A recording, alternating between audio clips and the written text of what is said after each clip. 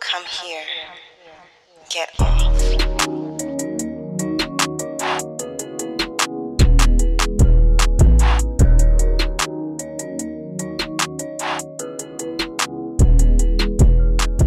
Today we're talking to Tresha Sealy, pronouns she and her. Tress is a family law attorney practicing in the Houston area. She graduated from Thurgood Marshall School of Law at TSU in 2011 and has been practicing law since 2012. She began her career with a small firm, then moved to a domestic violence nonprofit. Now she manages her own firm, Ow, the Sealy Law Group. She's passionate about helping people navigate the legal process as painlessly as possible during what can be a very difficult time. She prides herself on being compassionate and empowering her clients to make the best choice for their families. Okay. Thank you so much for joining us today. Of course, I'm happy to be here. Yay. Very happy to be here. Um, so, Tresha, what did you want to be when you grow up? Grew up. So I am not a girl who knew I wanted to be a lawyer. I think my mom probably knew I would be a lawyer as a little girl before I ever did. I an back- arguing ass kid. Yeah, you know, and I, and I was good with like making a point. Like, I need this, and here's why. Let me give you the reasons. I mean, I was doing that probably at seven. I love to read and you know make arguments. So I think my mom thought that, but I wanted to be. I feel like starting from high school, I wanted to be a sports agent. And even when I hmm. went to undergrad, I majored in business and thought I was going to do that. And probably until I, you know, kind of took a break after undergrad and went to law school. And then I realized very quickly in law school that that wasn't what I wanted to do. So Wow. guess I didn't learn until later. Well, and that's going to be my next question. Like, how did you get from there to here? Um, so I, I took a break after undergrad and I actually was trying to, you know, get a job in my field. I was working in property management at the time. Um, but I, I was trying to get a job, uh, like a job that I thought went with a business marketing degree, right? Um, I was trying to like get into pharmaceutical sales and some other things that I feel like I knew would be lucrative. Um, and it kind of didn't work out that way. So I continued to kind of work in property management and work my way up that way. And so then I had the bright idea, you know what? I will go back to law school um, and I'll just continue to work like as our legal counsel for the property management company I work for. I'll just kind of move to legal. And so I went to law school and that was always my intention. Um, and then I think my first summer, I interned uh, for the Attorney General's office, so handling like child support. I hated it, but I feel like I knew that I wanted to do family law. Um, and so this next summer, I ended up interning in another family law internship, and that's just what I've been doing ever since. Wow. Really, B? I'm sorry. My phone was. I'm anyway. so, what's your favorite thing about what you do? Um, so the happy stuff, and really the only happy thing I get to do is adoption. So I'd say that's my favorite part because adoption day is always a good day. You know, we get through this long, lengthy process of all the paperwork and all the hoops we have to jump through, and at the end of it, you know, the child gets to go with their forever family. So I would say that that's probably the only happy thing I get to do. So that's my favorite. Oh, that's nice. Yeah, everything else is like just helping people make it through. But I mean, from my experience, that Yeah. day when it was over was a damn happy day. Yeah, yeah. I mean, I have had lots of tears on divorce day and lots of people very happy or you know sometimes people are very sad um so it kind of just depends on the person and how they handle it but yeah for a lot of people that's a good day Mhm. I, I remember people would always say, "Oh, like when they found out," which was way after the fact, because I used to not put my business all over the place. Um, and folks would be like, "Oh, I'm so sorry," and I'd be like, "Girl, don't be sorry. Say congratulations." right Exactly. But that was me. well, and so, and I. I say that to be. I said that to one guy. I was like, you know, he was like, I just finished going through a divorce. I was like, congratulations, boo. And he was like, she left me. I was like, ooh. You're like, "Oh yeah, we have different experiences." I'm like, oh, let me find her and tell her congratulations. Yeah and you know y'all would be surprised sometimes i literally am at divorce day and i've had my client and her husband standing there together holding hands and we're divorcing them wow. Okay. and so like they're there and clearly they're hugging and the judge is like are you guys sure this is what you want to do but they're both crying and hugging and holding hands so it's just a a difficult thing to process sometimes, and everybody processes it differently. Yeah. Wow. All righty. Hmm, okay. So I'm wondering how your work impacts your personal life, if at all.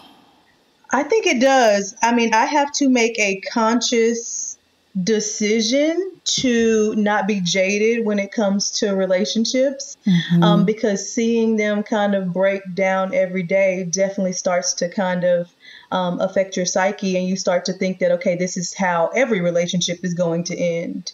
So i really at the end of the day have to have a talk with myself like okay this is not everybody's relationship. A lot of people i will say once they've gotten to me uh, you know, not everybody, but a lot of times there just has not been a lot of work done before they got married with making sure that this person was their forever partner, right? So not asking. I mean, some people come to me, they don't even know whether what their partner's social is, right? Like, what were y'all mm. talking about? Is mm. my question. Like, you don't know where he works. You don't oh. know, you know, what he's doing. And so sometimes that happens. And when that does happen, you're like, okay, you guys didn't do a lot of the work that you had to do ahead of time. And so I try to remember that, right? Sometimes these things don't work because maybe that was the case, or sometimes people just, you know, people, things don't work out. And that's okay. You know, we may get clients that have been married for 40 years, and at the end of the day, it just doesn't work anymore. And that's okay. Um, once you come to the realization that that's the case, we just kind of have to get you out of it gently and as um, seamlessly as possible. But it definitely starts to make you have a distrust in long term relationships. Yeah, because you see them at their worst point. Mm-hmm. Yeah, you do. And it's hard. I mean, especially when I worked at the domestic violence agency, I think I worked there for four years, and that is really tough because those are all not just, okay, we're just deciding to go our separate ways. You know, these people are coming and they've been abused most of the time physically. Sometimes it wouldn't be physical, but most of the time it was physically. Um, and, you know, it may be a minor. We had one physical dispute, or it may be, you know, he broke my neck, right? Mm-hmm. Mm-hmm. And and sometimes it's even more difficult because those people aren't ready to leave. Yeah. I mean, I got plenty of women that came to me and they're like, oh, I'm going to stay with them. Um, and so that becomes a very different conversation about, okay, well, and sometimes it's a tough one. Like, okay, well, he's going to kill you. Mm. So that's probably not the best idea, but ultimately you have to make your own decisions. And this is what you can do to try to keep yourself safe. This is what you can try to do to keep your kids safe. Um, but yeah, it's, it's very hard to view people in relationships at that point. Yeah. It, I mean, as someone who has dealt with intimate partner violence, like, like I know that tough part of that. Like, when do you leave? And unfortunately, it's not always easy to do that. I didn't leave the first time. right it's not and a lot of times we you know we would our focus would be safety planning right? So mm-hmm. let's figure out a safety plan for you because let's figure out how we can get you out safely when you are ready. And a lot of times you know the decision is is not just about them. So they don't want their Right. kids to be affected or they're scared he's going to you know harm everybody when they try to leave because that is mm-hmm. one of the most dangerous times of course. Right. When a woman is trying to leave that situation. So I completely understand it. However, in some situations, you know, you really do know the next time he's going to kill you. So, and I, I, I make that very clear to them because ultimately your life is at stake because um, sometimes people in that situation tend to minimize it, right? I think it's kind of a defense mechanism, right? Like you don't want your family and friends to worry about you. You don't want them to be so concerned and um, think that it's going to be something that's going to seriously harm you. So they kind of minimize it. And it's kind of like, oh, no, it's okay. Like, I I know that last time, you know, he literally broke a vertebrae in my neck, but, you know, it's okay. I'm fine. Um, and so sometimes you have to have those tough conversations. Yeah. So, um, on the flip side, do people act funny when they find out that you are a divorce attorney? Um, like people I'm dating or just people I meet in life? Both. Both. Um, so yeah, people I'm I feel like with men, the assumption is automatically that you represent women, right? And so when they hear you're a divorce attorney, the assumption is that you help women get child support or Mm. you help women. And um, I, I have plenty of male clients, so and there's no the problem case. with helping women right, right. Right. fund I the, think- their child's life. Like, Right. I think they automatically take offense to that though, like any female attorney that handles family law cases, you automatically are trying to stick it to the man. And that really isn't the case at all. I mean, ultimately, whether I represent the man or the woman, my goal is to try to help you, of course, get what you're entitled to and to to dissolve the marriage. So some I do get little comments like that from men. Um, people just out in the world, I don't think they act funny, but anytime somebody hears you're any kind of lawyer, you know, you start getting all the questions. Like, Yeah. like we're doing a consultation on the spot at the bar. Okay, we're not gonna do this, guys. Um, but people always want to, you know, ask all the questions once they find out you're an attorney and about anything. And I like to tell people, like, okay, so I don't know about criminal law. And it's like, well, you're a lawyer. Don't you know? And I'm like, okay, so do you go ask your pediatrician to do like your heart surgery? I wouldn't. So every lawyer doesn't practice every kind of law, but people have a hard time with that.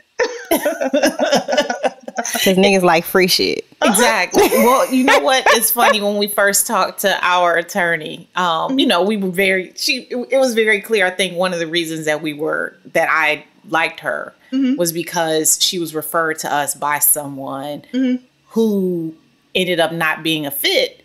Mm-hmm. And the reason I liked her was that she was like, "Nah, this isn't. I. I can't. what I I do." can't do this. So let me refer you to someone." Mm-hmm. And so she was like, she was like, yeah, I'm glad, I'm, I'm glad y'all understand that. And no, I don't do divorces. like, Yeah. thankfully, Already done. Been, been there, done that.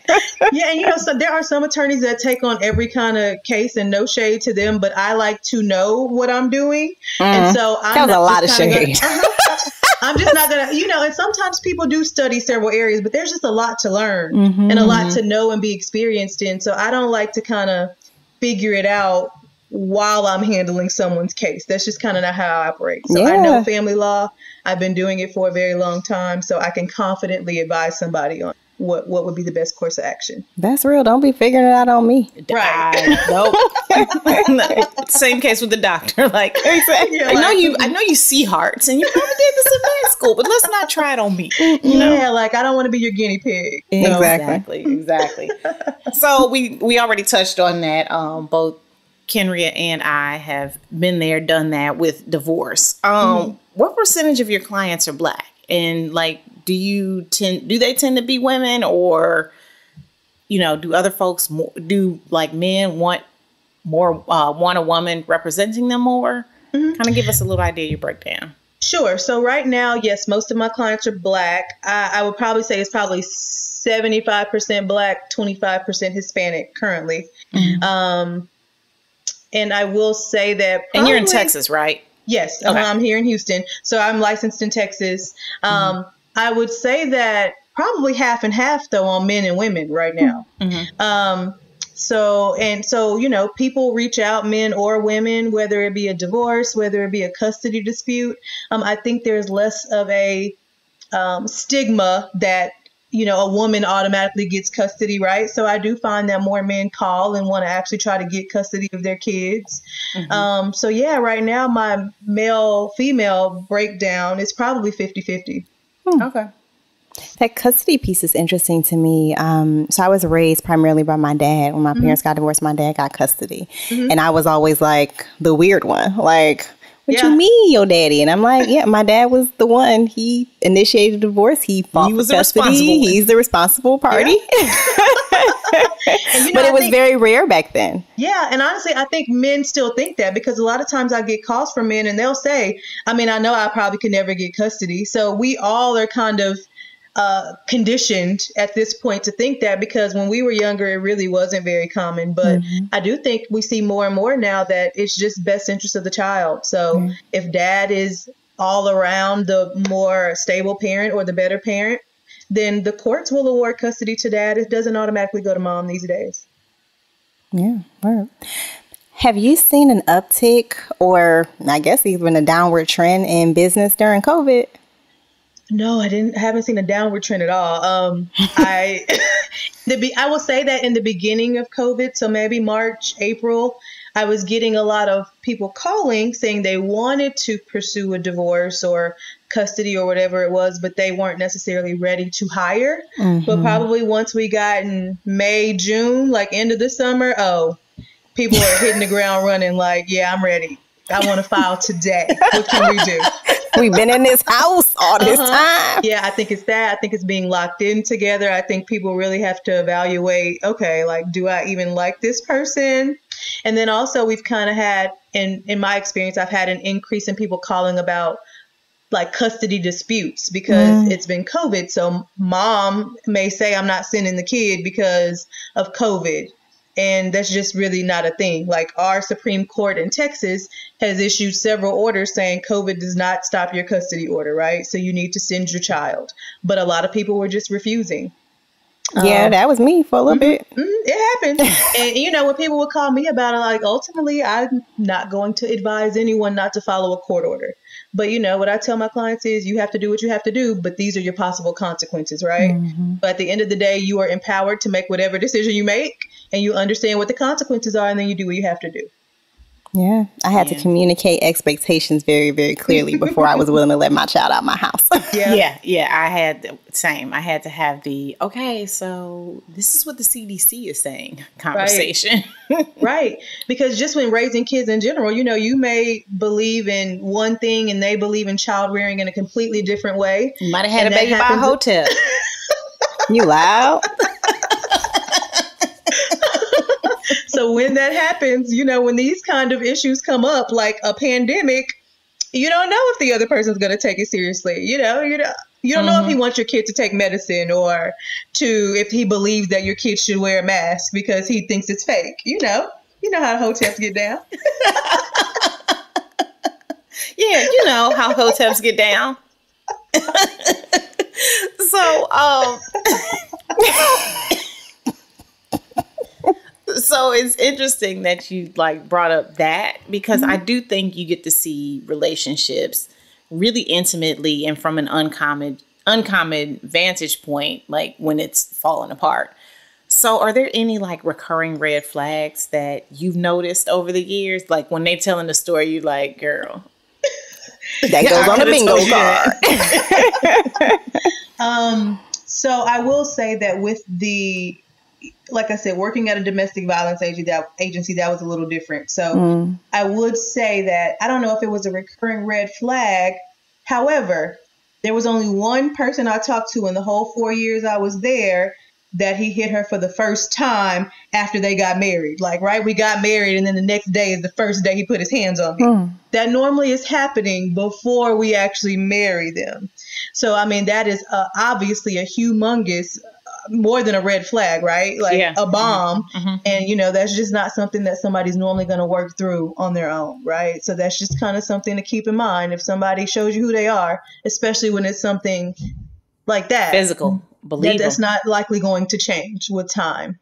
Um, it doesn't normally happen to where somebody kind of just a switch flips after y'all sign the marriage license and then he starts beating you up. So normally, you know, they're they're being aggressive or um, gaslighting or actually being physical with them well before the the marriage happens. Um, what else? I mean, just like I said, sometimes people that are just really secretive. I mean, I sometimes I talk to clients, the ones who don't know anything about their spouse, they kind of have always been that way. Like they're telling me that he never told me this. We never shared bank accounts. I never knew where he banked. To me, those are probably red flags, right? Because if I'm going to marry you, I probably need to know things about you other than, you know, what your favorite color is. So yeah. if if somebody's being that secretive with their personal details of their life, that may not be something that will work in a marriage. Yeah. kind of related to that, you know, I know that the law varies from state to state, obviously, but are there things that people should consider when they're figuring out if they should file for a divorce? Yes, there are. I mean, so in Texas, community property is anything purchased or acquired during the marriage, and we don't have a legal separation. So um, when it's definitely something to be considered um, on when you're going to file because some people say, oh, you know what, we're, we'll just break up, right? We'll separate. We'll go get like a child support order for our kid and we'll just handle the divorce later. And so then they don't get divorced for 10 years, right? Because everybody's moving on about their life and they don't do it.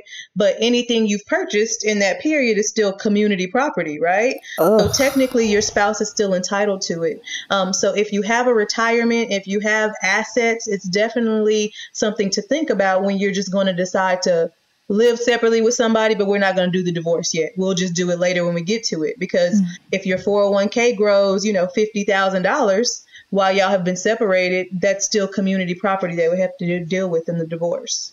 Girl, my whole face is I don't stank. like it, right? I don't like So if you know that you're not going to be with that person anymore, then you probably need to go ahead and choose to dissolve that marriage sooner than later, at least in Texas, because nobody's going to say, "Oh, y'all separated in 2012," but you know it's been eight years, but you're just now getting married in 20. I mean, getting divorced in 2020.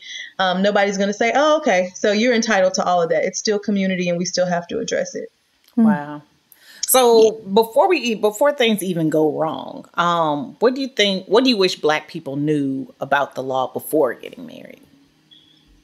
I wish black people knew that. I mean, this system just really is not built for us, right? And um, a lot of times, black people come. And I will say it's better. We have a lot of more, a lot more black judges in Harris County. So these are people who can relate to you a little more, right? And relate to issues we have culturally and things like that. But, you know, before these black judges got on the bench within the last couple of years, you know, I have clients contacting me because, you know, they're having issues with the father of their child and they're arguing over like well i braided her hair and i sent her over there and he's taking the braids down i can't go into court and make those arguments because this white judge doesn't understand that right that's not going to be something that they're going to He don't understand the time and the money that and the frustration that went into that. Absolutely. And that's not really something that they're going to even entertain, right? Even with our black judges, a lot of them sometimes are going to be like, okay, that's petty. Y'all figure it out.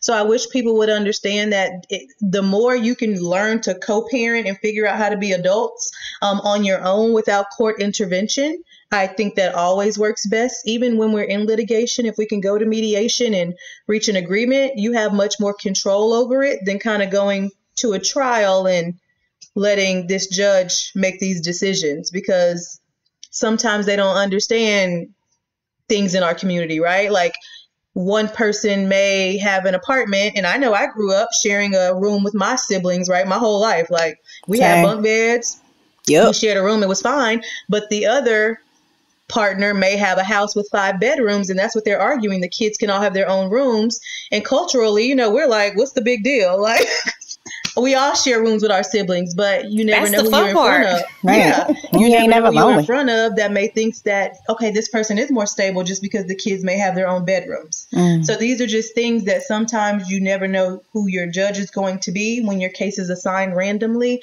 and you don't know how that judge is going to view issues in your household.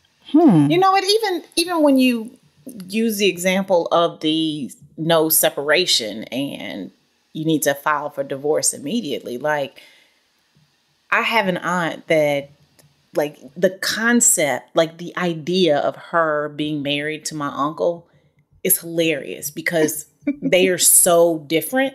Right. And they were married technically for like 20 something years. Yep. But they wouldn't they would never I don't ever remember them together, you know? Yeah, and they probably both had their own boyfriends and girlfriends. Boyfriend, and- girlfriend, Mhm. so and so living with them, like and it was understood. But yeah, like it's just I would have yeah, that's And look, So let me tell you when it gets super messy. In Texas, I, I can't speak for every state, but in Texas, any child born during your marriage, the husband is presumed to be the father.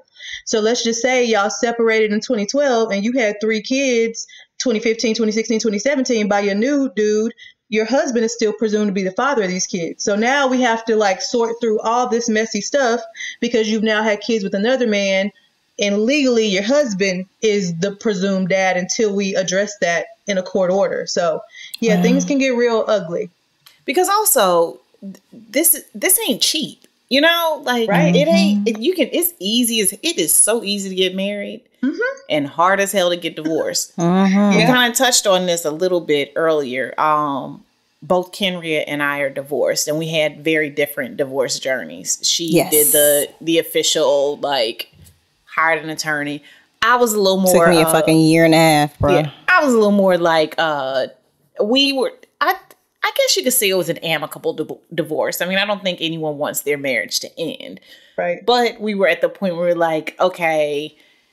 So I did all the paperwork and all of that, and uh, I was lucky. I was lucky because it just it worked out. But I know it's not always that way, and it takes a lot of time. You you got to show up at the court during office hours to make sure you filed, and then you got to make sure you know like it's just it's crazy. So um, this shit ain't easy, and that whole that that thing there is just crazy. yeah, and it is something a lot of people don't want to do, and I understand it. But if you think about it, your situation, um, most of the time, the spouses really can't um, agree, and everybody just say, "Oh, we'll sign off on the paperwork," right? And in order for you guys to enter an agreed final decree with the court, that's where you have to be. So uh, I will say, most of the time when people come to me, they're not there.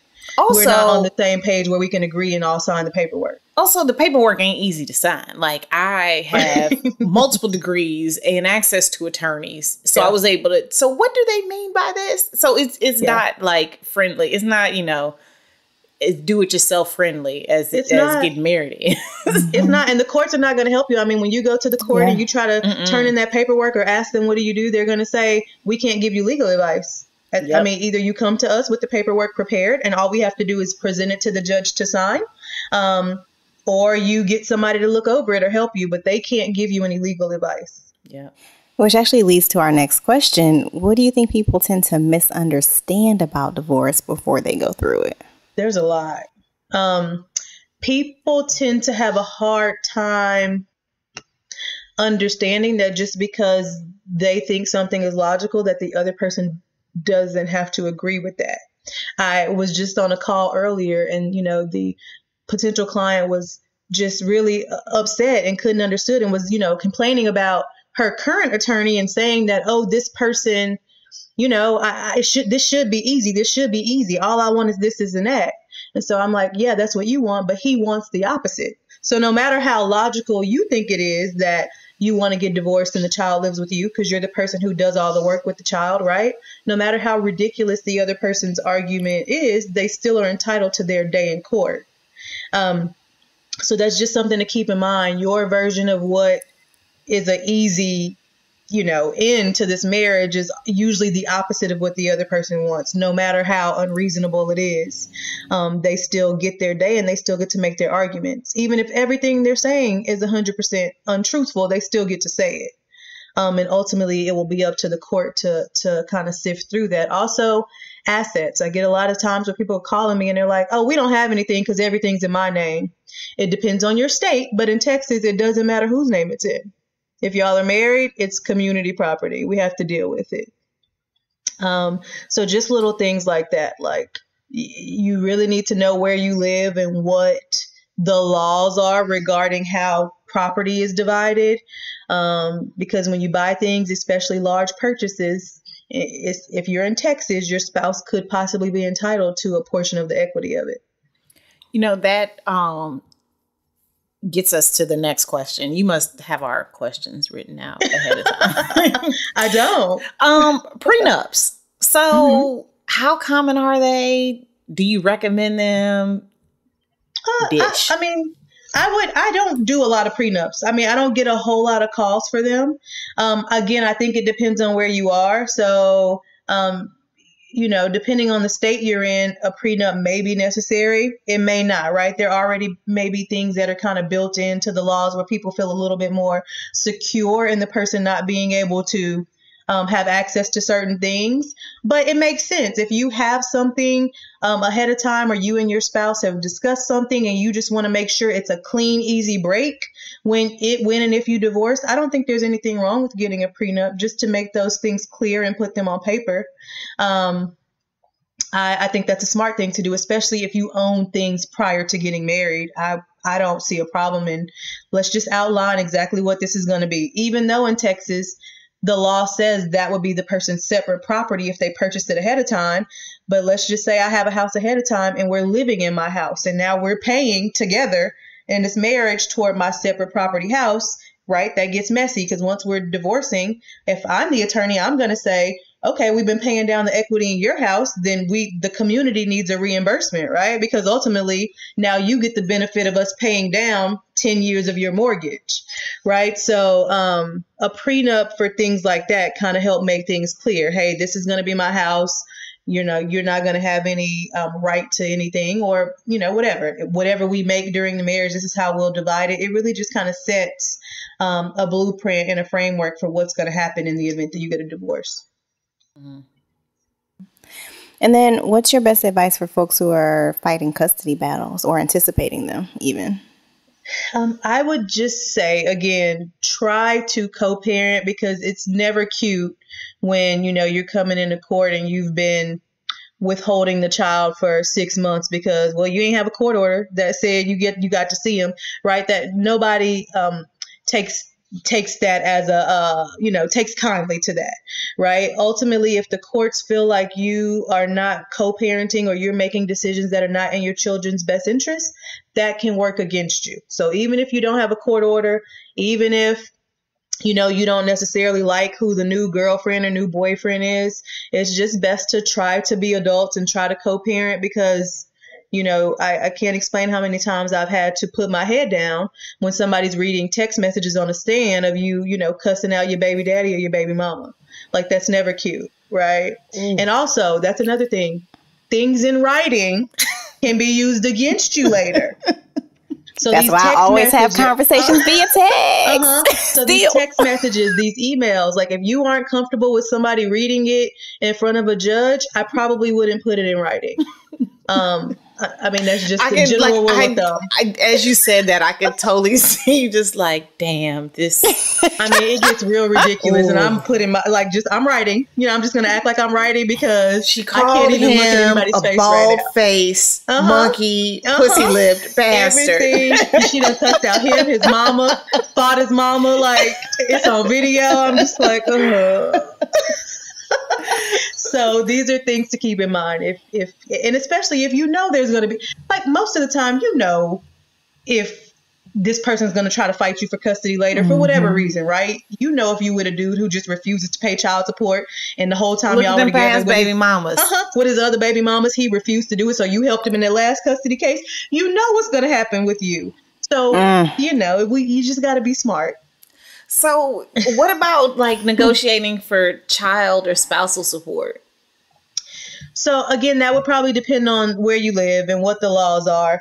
Um, in Texas, sometimes we ask for temporary spousal support, like while the divorce is pending, and it really just depends. If there's been a great disparity in income, so let's just say you have been a stay-at-home mom or dad, and the other person is the person's working, and they make quite a bit more money than you and they've been the person that's supporting the household, then yeah, we'd ask the court for some temporary support, right? Hey, I don't work. I haven't. We had this agreement that I wouldn't work. So I need some help getting on my feet. Um, and in Texas, you have to be married for a certain amount of time to ask for that on a permanent basis. Um, so that just kind of would vary state to state depending on your laws. And then there are things that if one person is at fault for a breakup in the marriage, then that kind of opens other doors for us to ask for permanent spousal support. Mm, okay. Yeah, I know here there's just a formula. It's like, how much do you make? How much do I make? How much do I pay into this child? How much do you pay into this child? They put all the numbers in mm-hmm. and spit out something. But to your point about judges and whether or not they have empathy and who they can, you know, vibe with, all of that can get thrown out the window in court. Mm-hmm. Yeah, usually the judges have discretion. Here, um, we have a lot of discretion because ultimately there's a formula for child support and it's a certain percentage of somebody's income. We call it guideline child support. Um, when it comes to spousal support on a temporary basis, yes, we're going to give the court the financials and kind of show them what the difference is in your bills versus your income for both parties. But ultimately, the court is going to have the um, discretion to make a decision on what they should award. All right. So we always like to bring it back to books. This could be, I'm going to ask you what you're reading. so you can uh-huh. think. Mm-hmm. It could be something that's related to what you do. It could be something that's related to what we do. It can be whatever is sitting there looking at you like, hey, read me. Mm-hmm. What you reading right now? I'm currently rereading Cane River, which is my favorite book. Who's that by? I just uh, look. I, I don't have do I have it in here. Do you have it back there? It's by Yeah. Lalita Tademy. Yep. I on. love that book. really, really, listeners, she's getting up to get her copy of the book. I love that book. It's such a good book. It's mm-hmm. such a good book. Oh, okay, so maybe you it. should let me borrow it since you take all my books. You don't like to return books, so no, you can't. Excuse me? Okay, listeners, I literally okay, so I just redid my office. And so I had so I had all these books downstairs. I brought them up. See, they're like beautifully displayed. So I had to purge some of the books. So I called Kenrya and I said, "Girl, I got all these books, and I can't keep them all. I'm gonna have to throw some of them away. Uh, I'm gonna have to give them out, give them away. You can come see what you want before I give them away. it's a whole Half shopping the bag. fucking bag was her book. were her books." You're like, oh, you want these back?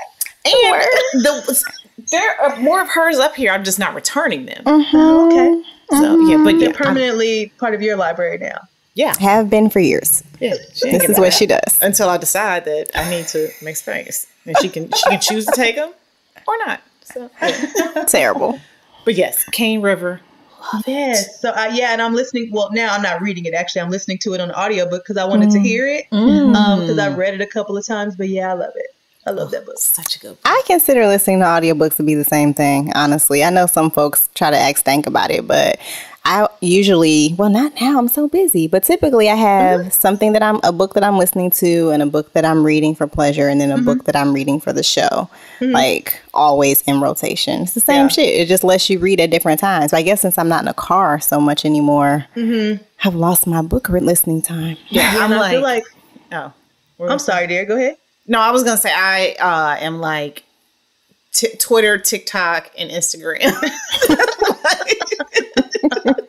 Taking up all your time. yeah, it's like oh my god, I'm just, I have something going on TikTok. I'm trying to record on Instagram. No, I'm horrible. Yep, that's very true. And I feel like with audiobooks, like I have a little bit of road rage. So listening to a book in the car helps to calm me. So Yeah, yeah. I feel like I really listen to audiobooks more than I actual read these days. yeah. Okay. They're lovely. Okay, so before we wrap this up, I'd like to ask a few rando questions. So I want you to finish the sentence. Okay. I always laugh at. Hmm. People falling. I'm childish. Oh no. I will ask if they're okay, but I will laugh every time. Okay. All right. All right. Are children included in that? No, you know, not little kids, but I was about to say those are the best ones. Sometimes Sure, those are good. adults. If they're okay. I am a. I am a cool ass girl, man. I just am. Like I know everybody says that, but like I just am uh, really even tempered most of the time. Um, I'm a good time. You know, people love me. Because I'm a bad bitch. And You know. what? Okay, wait. What's your sign? I'm a Capricorn. Oh. A late a late December Capricorn. I was not expecting that at all. Really? No. What did you think? I just Capricorns. Well, Capricorns do love the fuck out of themselves, but I was. As you should. My partner's a Capricorn. I adore him. Um, but now I was expecting, you know, somewhere more of a, Cancer. a, a Leo, an Aries, which is what I am. You know, we real definitive on how we feel about ourselves. Yeah, you know, I'm a Capricorn. I love it. I mean, you just gotta know. I think I think that has come more with age, Mm. probably than my sign. Like I just know. I know I'm a catch. You know, I know I'm cool. Yes. Yeah, that's what it is. It's I love it. Live in it. Mm, yes. I'm a bad bitch. And what? And what? And what? Okay, speaking of which, my pettiest turnoff is Mm. Shh. No, I'm not gonna say that because that wouldn't be nice. Um, Oh no. I don't like braggers, right? If I'm dating and you like are trying to name drop, that doesn't impress me. It actually does the opposite. Like Mhm. that will turn me off real quick. so quick. no Leos. Yeah, I've never dated a Leo, And so you, Uh. you are you're good. You- yeah, I don't do yeah. the humble brag. Like that doesn't work for me. Mhm. Not into it. Oh my god! I just finished almost. Ugh, I'm so tired. I ran 12 miles this morning and fed fed six homeless families. Yeah, you know, back when you know, back when I sold my first house for like you know seven hundred and fifty thousand when I was like twenty two. You know, but look, I hate it. I, I mean, I don't mind people who can talk, like speak well of themselves, but I just say it with your chest. Like, I don't like the the fake, like the fake modesty or the fake humility. Like, Yeah. all right, just say that shit. Congratulations. But certain things you can tell they're just trying to brag because Yes. it doesn't even fit into the conversation, right? you could have told me you sold a house. I don't know why I needed to know how old you were or how much you sold it for. I like Yeah. those shoes. Well, you know what? I wore shoes when I walked out of that house I sold at 22 for seven hundred fifty thousand dollars. Yeah, so I don't like that. That that doesn't work for me. That's mm-hmm. funny. That's always been one of the things about DC that bugged me. Like, I mm-hmm. feel like DC is full of those people. Right. Ooh, I'm not a mm-hmm. fan. I, I mean, I love living in this area, but I don't like that shit. And I remember when I came back here after living in New York, and like the first time somebody asked me like what I did, and I was like, ugh, I'm a whole ass person. Right. That's not all that I am. We've talked Yeah. about this. See, I don't mind people asking what I do because It's a it's a difference between just being in a conversation and it being that they ask because now they want to tell you what they do. Oh, You dig? Yeah, honey. I, yeah. but I'd be quick to be like, girl, don't nobody care about that shit. exactly. I will say that. I will say that. Exactly. Yes, What you, you, do will. for fun? Like, Yeah, tell me about your like mama. tell me that. If my employment doesn't come up in the conversation, like I, I mean, literally, I don't talk about what I do unless somebody specifically asks, especially in social settings, because I just Yes. don't know why it would ever be important. So I got this contract I need you to read. Right. Like, But also, it's not the most interesting thing about you, right? not. Yeah, it's when not. people ask me what I do, I'm like, yeah, I got a job, but let me tell you, I like to talk about pussies on the weekend. Right. I work. Moving on. Like, Exactly, exactly. well, this has been lovely. Guys, y'all are so much fun. So are you. Thanks for coming Thank on. you for coming on. It's Thank always you for having me. You know, I have, I enjoy, I've like gotten joy out of seeing like just black women that are just badass. Like it has become like so pleasurable. And so having you on, just seeing just a bad bitch ass black woman that's an attorney that knows her shit in, a, mm-hmm. in a state like Texas, like mm-hmm. I'm just you were this has been a high. Like I really love it. This is like black women doing a damn thing is like porn to me. So Oh, I love it. And in Houston, the I mean, the black girl attorneys, like they're baddies, and everybody be in court, like killing it and looking mm-hmm. so good while doing it, and I love it. Yes. That's awesome. I love it. Yay. well, so for folks who want to catch up with Tresha, you can go to sealylawgroup.com or you can follow you on IG at uh, Sealy, S E A L Y underscore law underscore group, right? On IG. Yes, ma'am. Uh huh. And on Facebook, you're the Sealy Law Group. Yes. Hey, okay. Now y'all know how to find her. And Awesome. that's it for this week's episode of The Turn On. Thanks for listening, and we'll see y'all next week. Peace out. Bye. This episode was produced by us, Kenrya and Erica, and edited by Ballistic. The theme music is from Brazy. Now you can support The Turn On and get off.